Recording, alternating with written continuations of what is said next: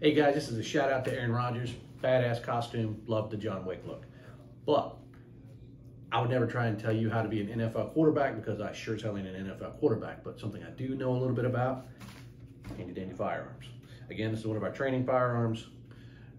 A, no uh, magazine in there. Two, no round in the chamber. And as I've said before, we don't want an Alec Baldwin moment. So, so let's talk about grip. So, Eric, you did the quintessential cup and saucer with your booger hook and the trigger guard and all that other good stuff.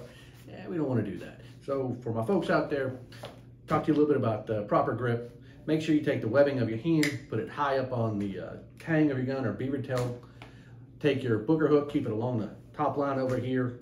And uh, if you look here on the grip of your uh, of your firearm, see the palm of your heel right right here of your hand.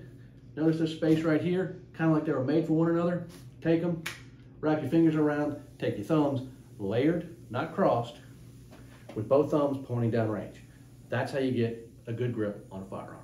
Hope to see you soon, and as always, shop at skydasgear.com.